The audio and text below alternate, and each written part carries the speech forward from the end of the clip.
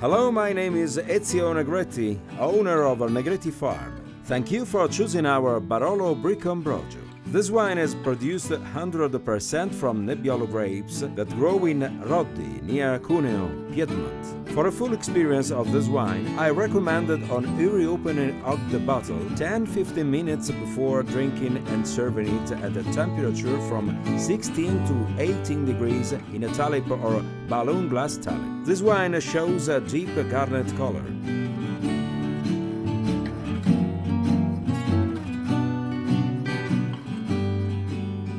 On the nose, we find hints of a blackberry, leather, tobacco, and vanilla.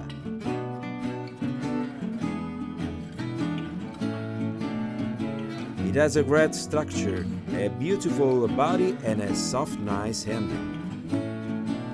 I recommend you pair it with red meat, game, or white truffle.